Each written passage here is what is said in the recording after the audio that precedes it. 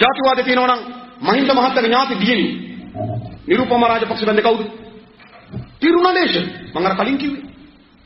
ඔය බැසිල් රාජපක්ෂ සල්ලි දීලා තිරුණනේෂන් ගාව. මම මේ මේ මේ ප්‍රසිද්ධිය කියන්නේ හොඳේ. මේ මාත් ඉස්සරහ කියන්නේ. මම නැවතත් බැසිල් රාජපක්ෂ සල්ලි දීලා තිරුණනේෂන් ගාව. තිරුණනේෂන් account එක පෙන්නන්නකො. සල්ලි පෙන්නන්නකො.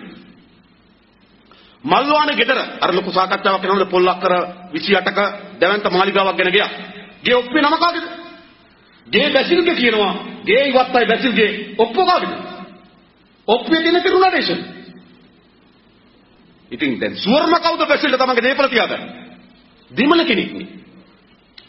තිරෝ දෙමළ කවුද ආපුවා? නෑ. ඔය ජනවාරි මාසේ 9 වෙනිදා පාන්දර තුනට ගියානේද රනිල් වික්‍රමසිංහ මහත්තයා අර්ලි ගහ මන්ත්‍රීට මහින්ද මහත්තයා හම්බෙන්නේ. බලය හුමාරු කරගන්න.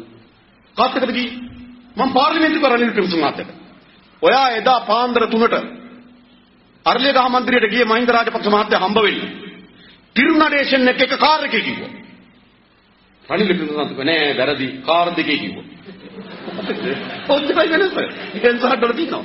හරිද? ඒ කියන්නේ බලුවමාරු සාකච්ඡාවකට එන්නේ කවුද? බලුව මාරු සාකච්ඡාවකට තිරුණඩේෂන්.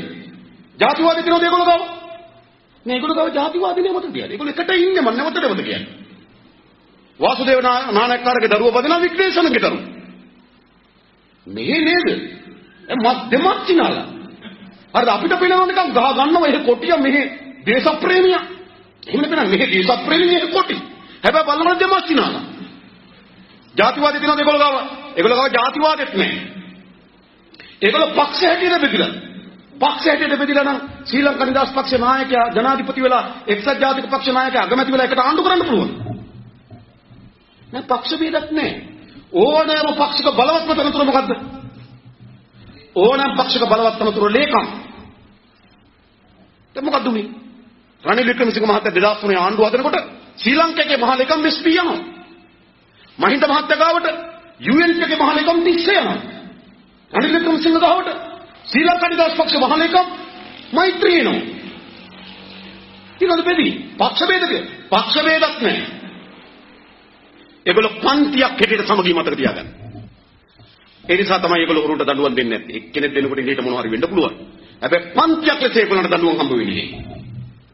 කොයි දඬුවම් දෙන්නේ? මේ අද කීයද චන්ද්‍රිකා කුමාරතුංග මැදිරි මට මතක 94. 94 ඒකට එක්සත් ජාතික පක්ෂ අවුරුදු 17ක් රට පාලනය කරලා. චන්ද්‍රිකා මෙතන වේදිකාවේ නැගලා කිව්වා එක්සත් ජාතික පක්ෂ අවුරුදු 17ක් රට පාලනය කරලා රටේ ජාතික සම්පත් විකුණලා රටේ ආර්ථික විනාශ කරලා තියෙන්නේ මහා පරිමාණ හොරකම් කරලා තියෙන. කොච්චර හොරකම්? විජේපාල මෙන්ඩිස් පේසකර් නැමැති ඒ කාලේ. පොල්ලක්කරයක් ගත්ත රුපියල් දෙක ගන්න. පොල්ලක්කර 76යි රුපියල් 152යි. ඒ පොල්ලක්කර 76ටම රුපියල් 152යි. පුත්තලෙන් පොල්ලක්කර 70 56ක් ගත්තා. මේ මේ 76ක් ගත්තා. කිව්ව ඔක්කොටම දඬුවම් දෙනවා. හිඟුරාන සීනි කම්මල විකුණනකොට එක්සත් ජාතික පක්ෂාණු. සීනි කම්මල සතුව අක්කර 7000ක උප්පක කරලා තිබ්බා. ෆැක්ටරියක් තිබ්බා. ගබඩාවේ සීනි තිබ්බා. වික්කා. විකුණපු ගාන කීයද? ගබඩාවේ සීනි වල වටිනාකමටත් වඩා අඩුයි දීපු ගාන. ගත්තු හදේ සීනි වික්කලාපයි. චන්ද්‍රිකා කිව්ව හොරකම් කරලා තියෙන්නේ. අම්මන්ටි දන්නවනේ. අම්මන්ට කිව්ව හොරකම් කරලා තියෙන බලයට ආපු හැටියේ හොරු අරගෙන ගිහිල්ලා ගෝල් පේස් පිට්ටනේ කියලා හැම ගන්නවා කිව්වා. නෝන දඩුවම් දෙනවා කියන්නේ නැවතද කිව්වේ? ගෝල් පේස් පිට්ටනේ කියලා හැම ගන්නවා. අපිත් ඒ කාලේ කැම්පස් එකේ ඉදී. අපි තවදර ගිහිල්ලා ගෝල් පේස් පිට්ටනේ බංගුවක වාඩිලා ඉස්සුවට එක්කක බලාගෙන හොරෙක්කම ගන්නවා. ගැව්වද හැම? නේ එහෙම හැම ගහන්නේ. ඇයි ඇයි එහෙම කරන්නේ නැත්තේ? ඒගොල්ලන්ගේ පන්ති අය සමගි. මෙතන තියෙන පක්ෂ ප්‍රශ්නයක් නෙමෙයි මතක තියාගන්න. මෙතන තියෙන මොකද්ද පන්ති ප්‍රශ්නය. අපේ රට මේ අවුරුදු 70ක් පාලනය කරේ ওই උඩ පන්තිය. දැන් එනම් තියෙන්නේ මොකද්ද? ඔය උඩ පන්තියෙන් පහළ පන්තිය අතර බලය ගන්න ඕන. ඔච්චරයි. අපි 70ව ආණ්ඩු මාරු කරාට 70ව නායක මාරු කරාට අපි අසමත් වෙලා තියෙන මොකද්ද? ඔය උඩ පන්තියෙන් පහළ පන්තිය අතර බලය ගන්න.